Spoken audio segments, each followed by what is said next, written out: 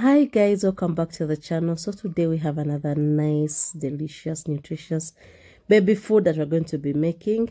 Uh it's like the entire house has flu and my baby also picked flu. So we are going to be making mukene or silver fish with irish. Uh so we begin by roasting the silver fish because we want we want it to be nice. Yeah we want it to be nice. We don't want to just put it in water direct so guys as you see on how i make it i just uh, i just got flu i think a few days ago. And like last night my i just felt like i just had my baby sneezing. She was feeling so bad. Uh normally whenever i have flu i normally prepare some soup soup soups. So she has taken time without eating muken. I think she has eaten muken like four times.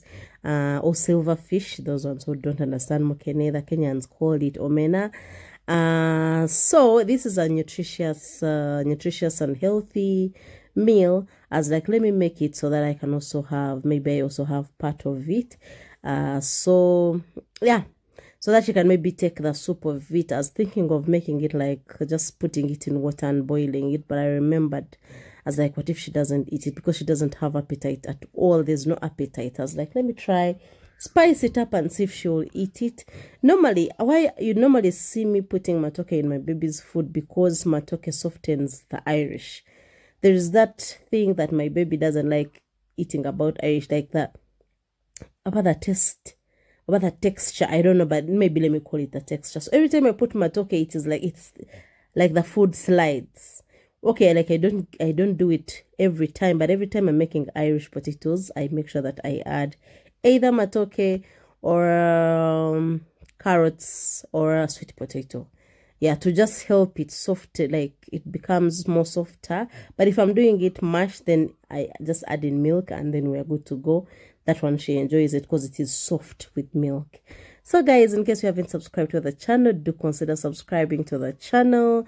I'm here with annalise. She's here helping me. She just loves helping. She loves also cooking. So guys we're going to see how we're going to enjoy this meal. Annalise told me when we we're making making the food she said first she's not going to eat. She doesn't eat silver fish. I was like kawa so i was like okay since she's also here let me try to spice up this silver fish lunch and see if all of them are going to have fun they're going to enjoy it. Guys do not forget to subscribe to this channel. You guys you should know that silver fish is healthy for your child. It boosts the immunity. Yeah if your child is fond of sick sick sick and mostly if your baby ever gets measles get the silver fish don't put don't fry it don't put in anything. Boil it maybe if your baby is one year and a half add in some little salt and then give your baby that soup to take it it will help them a lot it is good to just add it in the diet of your child once in a while at least once a week let them have that silver fish uh, so Annalise Bambi has finished helping me. Now here we come. I have some uh, some coconut oil I made recently, mainly to put in my baby's meal. Maybe I should do a video about it. This is coconut oil. It is 100% pure organic. Yeah, so it is what I'm using, just in case you're wondering. And I've added in just little, just little, like a teaspoon maybe. Yeah, teaspoon is enough. And yeah, that is it. And I just decided, asked if she could help. And I was like, Kawa. But since we're using the charcoal stove and it was not so hot, I was like, it's okay. We will manage her here yeah i'm sure she won't like get burnt or kind of yeah and then here we have a we have a royco tube normally when i want the food a little tasty we add in Annalise has added in the royco tube as you can see um because i'm not going to to add in salt yeah but it is the meal we are all going to eat me Annalise and and the baby and Zia. So we've added in all our food and behold, our mukene, our silver fish is here.